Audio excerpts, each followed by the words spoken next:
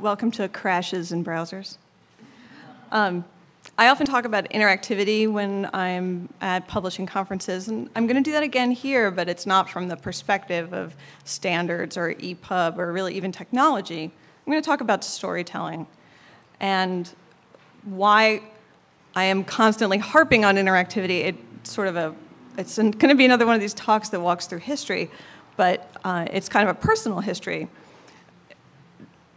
the future of books is something I've always been involved in. Uh, I had access to computers at an early age, and at the time, when you played video games, what that often meant was interacting with textual works. I think a lot of people here uh, either remember or just sort of familiar with the kinds of games that uh, used to be these the kind of like most high-tech forms of interaction with computers.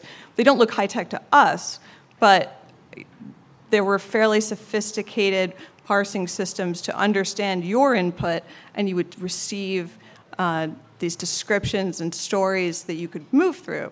Now, a, a, lot of these stories really were just kind of like glorified Dungeons and Dragons campaigns. You can kill monsters and move through uh, caves, but there were other more ambitious attempts to, to tell stories that, especially to me as a 12-year-old, um, you know, were about exploration, about uh, time travel, about like all the things that seem really cool to me about literature, but it was even better because it was on a computer and that was novel.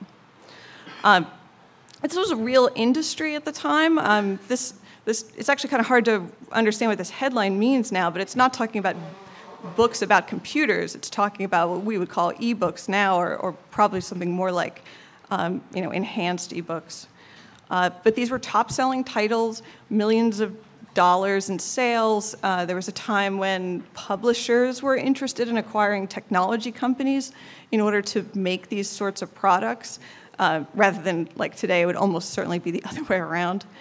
And what was really compelling to me, I mean, I enjoyed playing these games, but I was able to write them. This was, these were fairly sort of primitive interactions. So if you were a 12-year-old girl, you could make a game that was about, I mean, you don't have a lot to say when you're 12, right? So like it's a game about walking around my grade school. Um, but you know, I could code this in really um, Commodore 64 basic, and I didn't understand really anything of what I was doing, but I could cobble together an experience that kind of looked like the commercial games. That was incredibly powerful and very cool, and has always it's been fantastic for me to kind of come full circle to this thing that I had a passion for when I was a kid, essentially be able to do that all over again. But there was a problem with these works when you try to evaluate them as stories or as fiction. Uh, many times with, they were really kind of sold on the novelty part, which was how interactive they were, and that doesn't necessarily make for a compelling story. Uh, you don't want to have your experience of some kind of work you get to the very end of it and it's like, that's awesome. You can now do that like 70 trillion more times because um, you know, it, it was really meant to be a game and not a work of authorship. Oh, we can see what my email is. That's cool. Tech fail, awesome. What eventually happened to this kind of style, it, let's see if anyone's like, you know, giving us money or acquiring us. Uh, what really happened to this style of of telling stories moved away from just purely textual works as computing caught up.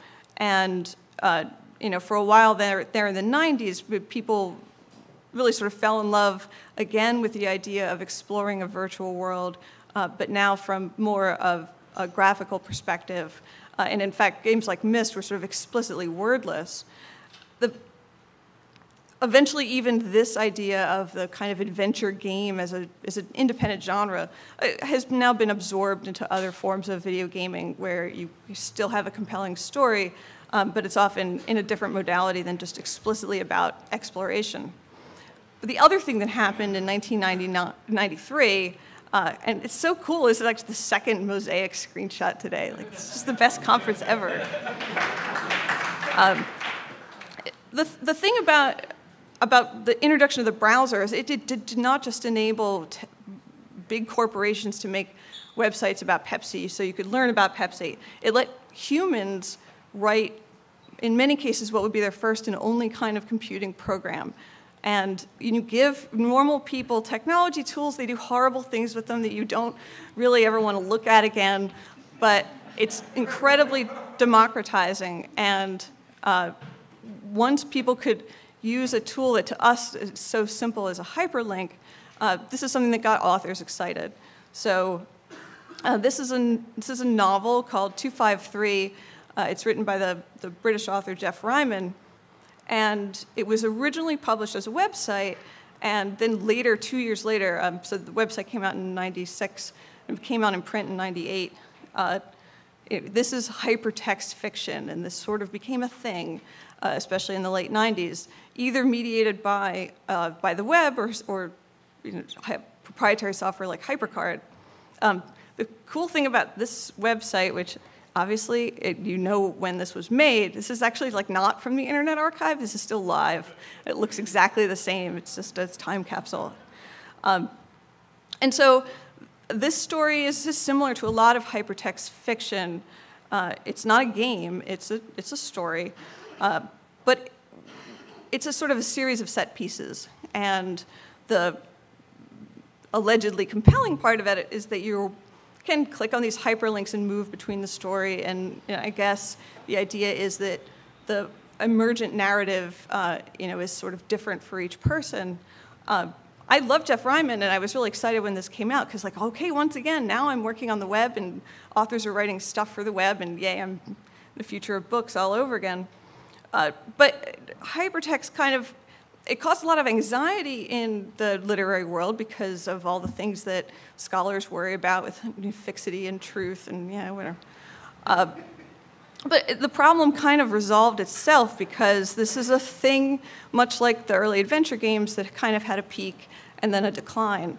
Um, so this is just like the Google Ngram viewer for the phrase, and you can see very clearly it's sort of this idea of hypertext storytelling uh, you know, peaked around 99, 2000, just you know, in time for people to start learning how to tell the stories, and then they kind of found out they were sort of boring. Um, my feeling about hypertext stories is that they just are they're kind of lying there. It's like the author has walked up to you and just dropped all their ideas uh, on a table in front of you, and you can sort of pick your way through it.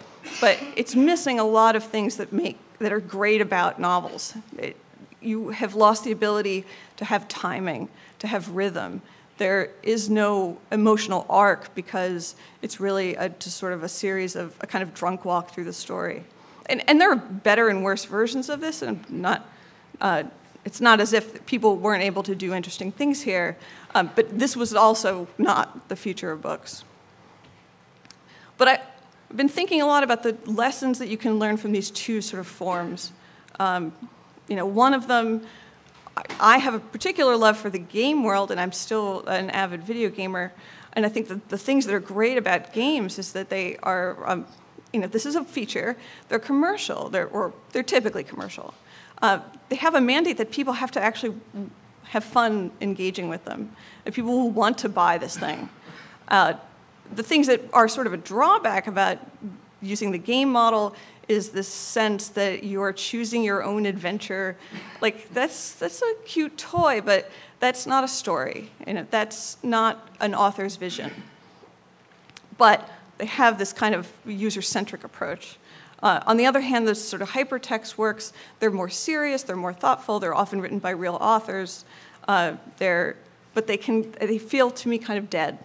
Uh, so I wanted to think about things that could merge these two forms. And uh, the only way in which I'll say, talk about technology is just that now we're in a position where uh, we're giving people devices and teaching them how to read on screens. So this is a time where people are very receptive to, to new forms, but I think they have to be fun and they have to be, have to be stories. So in 2001, uh, I've been working with a woman named Emily Short, she is, uh, she describes herself as a consultant in interactive narrative, which sounds like froofy, but she, she really works with mostly video game developers who want to tell better stories. Um, so they'll come to her with like fairly typical uh, like storytelling problems, like our our game just kind of falls flat halfway through, or no one understands the motivation of our characters, or you know, in these increasingly large games, you know, the player might meet 300 people in this world, and they all have to have things to say and motivations. Uh, so she kind of sits right in the middle of these two worlds where she works with games, but she works with stories. Uh, so I commissioned a piece from her, and I gave her a few constraints. I said, uh, I, want it, I want it to be fun. I want it to be engaging. Uh, it should work on some kind of, it should at least be compatible with a touch-based device, although it doesn't have to be touch. Uh, and I said it had to be short because I didn't want to do a lot of work. And so she wrote this thing for me, and she gives this great title because it kind of has dual meanings, but uh, you know, to me it's like authorship. This is a story. This is a revolution. Um, but the name really is referring to the fact that what she wrote is a sort of epistolary short story. It's about the concept of authorship, and the revolution here is the is the French Revolution because this is set in this kind of alternate uh, French Revolution universe. And she, she said that she took these, these kind of two approaches uh, that she thinks can apply to digital narratives um, that are interactive kind of across the board. There's the goal to, or the impetus for the user to want to expand the narrative. That's the sort of gaming concept that, like, I want to choose what's going to happen next to some extent. I want to move things forward. I want to propel the story. Uh, then there's this more hypertext impulse, which is that I want to maybe fall into a corner of the story or explore one person's motivation. Uh, or maybe I'm playing it now for the second or third time and I want to just uh, skip through some of the this exposition and, and, and focus on maybe just sort of the key motivations of the players. And I like that because that sort of fit with this dichotomy that I already had. Now, I'm not going to demo the piece, although I can show it uh, on my laptop to people who are interested. And, and we will publish it, it's just not quite, um, doesn't have all the touches that I want. But I asked her to write a, kind of an author statement. She sent me this like 5,000 word, like, so this is not all of it, but I'll post the whole thing. Um, but really, she thought that one of the ways to make the story compelling was to make it be about people and their motivations, not do you swing the axe at the troll?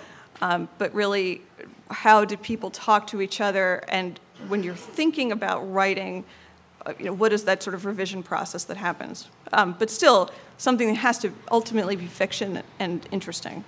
Uh, so what we did, the piece is in, is in HTML and CSS, and it sort of moves back and forth between uh, this sort of background narrative, and this is the opening scene, uh, that you can see right here. Um, but the sort of key interaction are these series of letters that the characters are writing to each other back and forth. Um, they, there are multiple characters, but there's sort of two primary, a husband and wife, who are kind of plotting against each other. Uh, and I'm not a designer, so we actually want um, probably some more professional help here, but we're thinking through the, the user experience. We don't want it to look too much like a website, and right now it kind of does. Um, but what you're presented with is a is a, essentially an, a draft of a letter that usually is either too abrupt or impetuous or reveals too much or not enough. If you try, cool. If you try to like send the letter when it's incomplete, when it's not ready. Um, right now, what happens is that the text that you need to revise sort of jiggles. Uh, originally, we had it colored, and that felt too much like a hyperlink, and you know, all you want to do is like click on it. Uh, instead, I'm sort of more interested in how we can make text move and breathe. And then you're often given either a choice to remove a passage or change a passage and change it depending on what mood you want. And, and none of this really has an effect on this overall story. That was sort of a design goal. It's, it's just more about you are learning what's happening behind the scenes through making these choices, um, but you can send these letters sort of withholding or, or expressing information as you want. And then just like the tiny geek part is, uh, I am really enamored of projects that can be done, creative projects that can be done with very, very tiny teams. And I, so here, in addition to making this particular piece, we wanted to secondarily make the platform that the piece runs on, um, but I wanted platform to be very thin. So she came up with a very simple XML format that expresses the story. You know, here's the text that you're given, here's how it has to change, here are the choices you can have.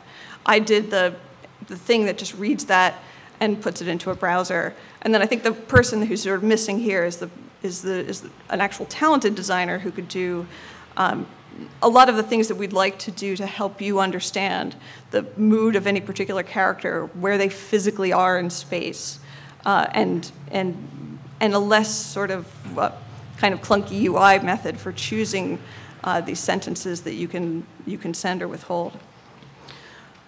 I think the important part here is that it has to have this nice pacing.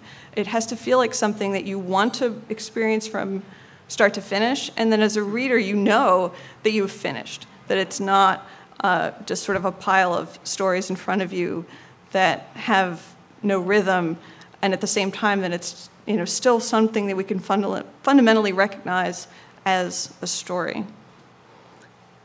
That's what I got. Thank you.